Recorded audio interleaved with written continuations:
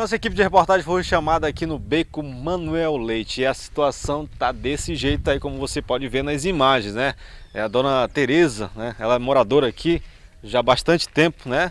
Dona Tereza, e tá difícil a situação aqui desse beco. Parece que ninguém passa por aqui. Tempo de, de política eu acho que vão passar, mas é, durante os quatro anos não passaram por não aqui. Vem, por aqui não. Eles só enxergam aqui quando é tempo da política para vir pedir voto. Uhum. E nós estamos nessa situação difícil da, da rua, que nem carro quase passa. Uhum. E outra também, a nossa água, a situação da nossa água que está vindo a água as polegadas, que a mulher que trabalha, parece que nessa água, ela não se envolve na, no negócio da água. Certo. Ela não quer fazer um trabalho, fazer reparo na rua, onde os canos estão tá quebrados, onde não está, né?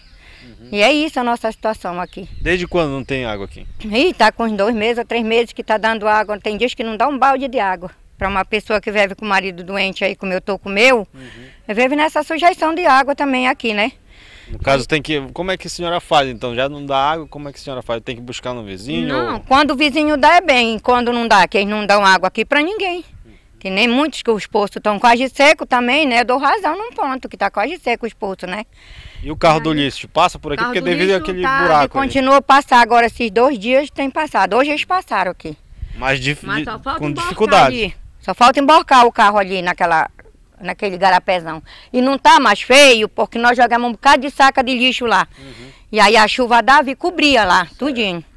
Outra também que ainda bem que não está chovendo, né? Tá é. no verão, se tivesse estava mais feia a situação na época da chuva. Isso aí, porque está enxuto aí, olha, nas frentes das casas, se você quiser a frente da sua casa limpa, cada uma limpa. Uhum. Nas frentes das folhas. Dali para ali não quero limpar. Uhum. Mas o nosso aqui tudo é limpo, é varridinho, tudo.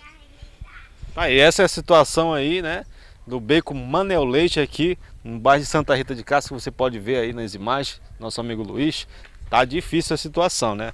Os moradores estão pedindo providência aí das autoridades que venham aqui dar uma ajeitada, porque geralmente eh, passa quatro anos aí o pessoal não passa por aqui. E quando é época de campanha política, é, eles vêm passar por aqui pedir voto e o pessoal está revoltado com essa situação.